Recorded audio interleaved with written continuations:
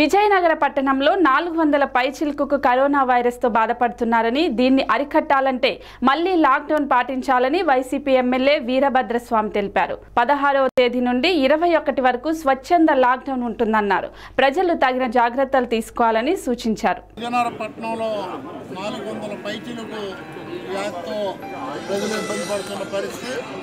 ఇవంతా కూడా దృష్టిలో పెట్టుకొని మరి వ్యాపార వర్తక వాణిజ్య సంస్థల అధినేతలందరినీ అసోసియేషన్ ఛాంబర్ ఆఫ్ కామర్స్ వాళ్ళని పిలవటం.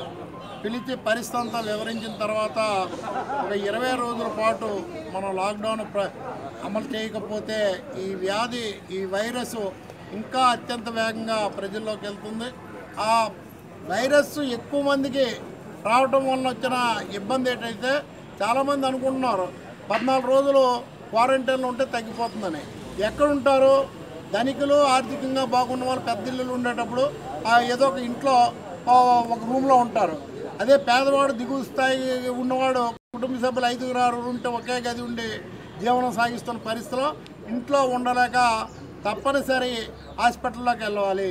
ఈరోజు హాస్పిటల్లో బెడ్లు లేక హాస్పిటల్లో చేర్చుకోక అనేక ఆందోళనకరమైన పరిస్థితులు వస్తున్న దృష్ట్యా మరి వ్యాపార వర్తక వాణిజ్య సంస్థల ప్రతినిధులు ఛాంబర్ ఆఫ్ కామర్స్ ప్రతినిధులతో మా మాట్లాడడం జరిగింది.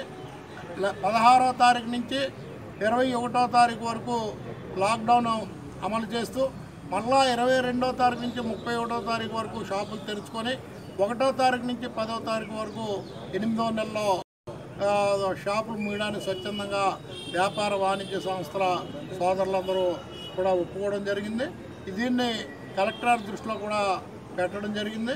మరి ప్రజలందరూ సహకరిస్తే ఈ వైరస్ని పూర్తి స్థాయిలో అరికెట్టడం కానీ కొంతవరకు నివారించగలిగిన వాళ్ళం అవుతామని చెబుతూ వ్యాపారస్తులు వచ్చే డబ్బు లాభాలని వ్యాపారాన్ని మూసుకున్న పరిస్థితిలో మరి దానికి తగినట్టు ప్రజలు కూడా సహకరించి ప్రజలు కూడా ఎవరింట్లో వాళ్ళు ఉండవలసిన పరిస్థితి ఉందని చెబుతూ ఇదంతా కూడా ఆ లాలికి వచ్చింది కదా మనకేమైంది మనకు రాలేదు కదా అనుకుంటే ఆ ఆ వరసక్రమేణ ఒకరి తర్వాత ఒకరు ఒకరి తర్వాత అనే పరిస్థితులు పరిస్థితిలో అందరికీ కూడా ఆ వైరస్ అంటుకునే పరిస్థితి ఉంది కాబట్టి ఏదైతే వ్యాపారస్తులు ముందుకొచ్చి స్వచ్ఛందంగా మేము వ్యాపార సంస్థలను మూయటానికి సిద్ధంగా ఉన్నామని చెప్తున్నారో దానికి తగినట్టు ప్రజల ప్రవర్తన కూడా అదే విధంగా ఉండాలి.